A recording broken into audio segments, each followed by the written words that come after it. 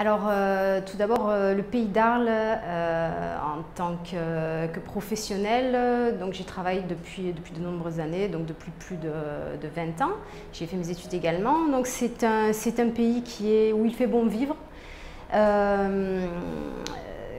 où le travail y est agréable, mais on va dire où il y a besoin de, de, de nouveautés, de renouveau et euh, de, dynamisme. Beaucoup d'entrepreneurs dans le pays d'Arles euh, démarrent de, nouvelles activités, sont très inventifs, sont très, euh, très créatifs.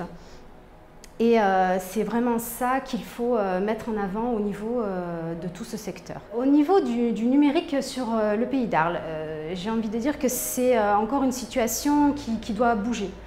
le numérique sur le pays d'Arles déjà, de, par son, côté novateur, le numérique est, euh, très important pour les entreprises.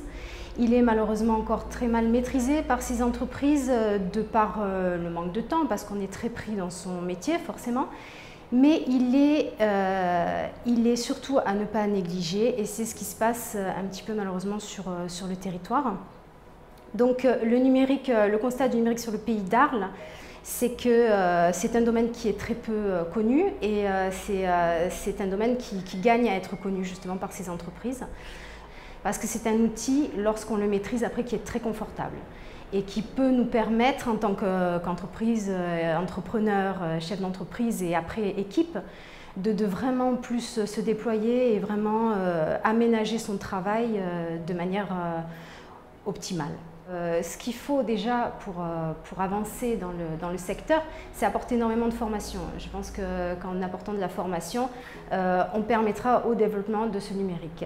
Après, tout ce qui est start-up, on va dire nouvelles, nouvelles entreprises qui ont envie de, progresser relativement rapidement ou qui ont des idées très novatrices, ne pas avoir peur de, de se lancer parce qu'il n'y a pas... les idées sont toutes avancées, j'ai envie de dire, mais il ne faut, faut pas avoir peur de se lancer, il faut se jeter à l'eau même si on ne connaît pas trop le, sujet, parce que c'est un sujet qui est facilement, euh, entouré bien sûr de, techniciens et de personnes compétentes, c'est un sujet qui est facilement, euh, on arrive à l'apprivoiser facilement.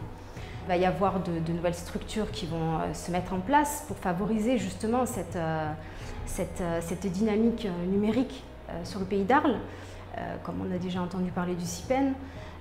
donc c'est pour ça que ça fait partie des nouveaux moteurs, on va dire, du pays d'Arles et, euh, qui sont, euh, qui sont, euh, qui sont l'avenir hein, pour, pour justement ce, ce métier-là. Vous pouvez faire suggérer justement des idées également.